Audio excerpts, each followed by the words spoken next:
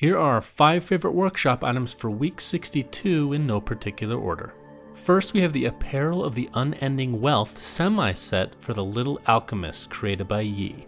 It comes with 3 items including some robes, concoction, and crown. Keep in mind that this is only for the little guy sitting on the shoulders of the ogre. Either way, it's amazing and fits in with the theme perfectly. I would love to see this on a chained ogre. It would look like a king sitting on the back of his enslaved beast. Next is the Cloud Forged Battle Gear set for Skywrath Mage, created by Tidal Craftsman and Michael CTY. It comes with 7 items, including a helm, mantle, bracers, girdle, staff, and 2 wings to choose from. Skywrath is a hero we don't see too often in games or the workshop. We're not sure why this is the case for the latter, since as you can tell in this set, a lot of things can be done with him. Also, according to the artists, they're looking for your opinion on which wing color fits best. Go ahead and tell them to use both. Third, we have Lion's Demonic Transformation, which is a singular item created by Dry.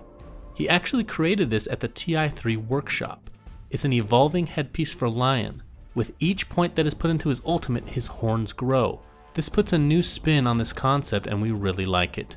Be sure to let him know in the workshop whether you want him to create a set revolving around this headpiece. Next is the Guardian of Silence set for Silencer, created by Sebastian and Kaas. It comes with six items, including some arms, a belt, blade, helmet, shield, and shoulders. As awesome as the concept art is, it is a bit misleading. It looks a lot more epic when you don't have to see Silencer's face in the mask. Either way, this is a very solid set. The belt in particular I like because of the book hanging on it that sports the icon of Silencer's third skill, Last Word. Last but not least is the Clash of Heroes 2 loading screen created by the one and only Kunkka. We've never featured anything like this, and honestly, there isn't even a loading screen option for when you're uploading workshop items. But after seeing this, there really should be.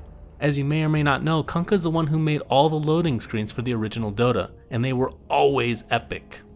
This loading screen depicts the lineups of both Alliance and Na'Vi in the epic Game 5 Grand Finals match at TI3. All I can really say is, Volvo, please add.